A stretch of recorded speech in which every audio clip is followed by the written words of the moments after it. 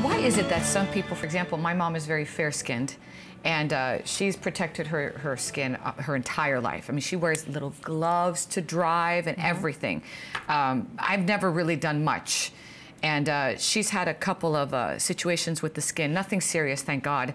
But uh, I say, wow, you've protected. Is it is it genetic? Yes, and it's typically genetic because you can find, we find melanomas in areas that the sun has never seen. Exactly. Yes, and it, it is really genetic. So would it be someone just having a predisposition? Yes, um, usually um, it's a predisposition either on the mother on the mother's side, um, and however, that doesn't discount your not you know staying out of the sun. Right. You need to protect yourself because besides the melanoma part, you're damaging your skin and it's looking older.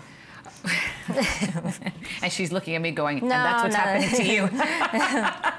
it's okay. I'm, co- mm. I'm coming to terms with my age. Mm. Um, something I've always been curious about is, and you just touched upon it right now, is okay, we, we see people where they get sun and they might have, you know, a situation going on.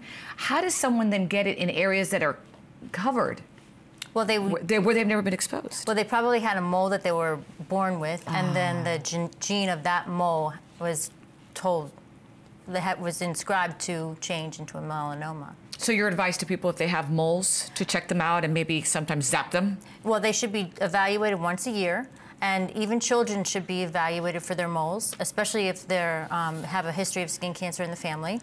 And we, no matter what, you need to check between the toes and, and the palms and the soles and the head, you know, the scalp, and areas under the arms everywhere, um, in the general area, just to make sure that these moles are, are not changing.